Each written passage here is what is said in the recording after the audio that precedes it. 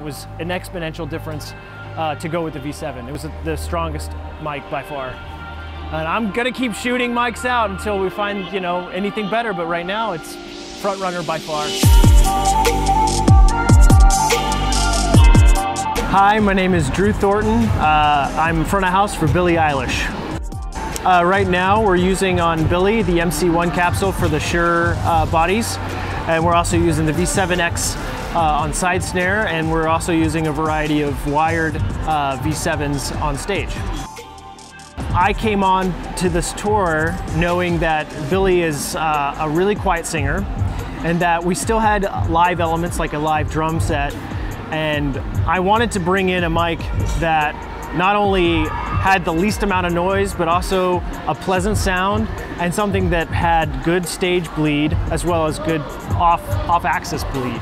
We shot out a lot of mics. We've already done two mic shootouts. And the first one we went through, granted she was basically getting a new monitor engineer and a front of house engineer, so she didn't really have a basis for comparison. Um, but when we did the first shootout, the V7 was the strongest mic out of all of them by far, so we ended up using that one. And then we did a, a tour on that, mic, uh, on that mic. And then once we switched over for a couple promo shows where we didn't have a wired V7, she instantly noticed the difference.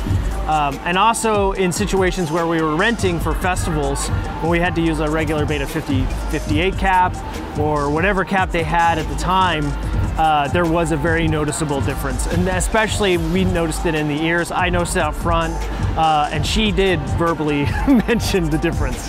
Yeah out of nowhere, we got a custom custom SE red mic that's that's really really sexy for Finn, which has been uh, exciting, and I can't wait to do some more stuff for Billie. And and we got a couple chrome capsules, uh, got a gold one for Finn, and then a couple different uh, like black and uh, gray, and then we're alternating between the the red and the uh, black pop filters.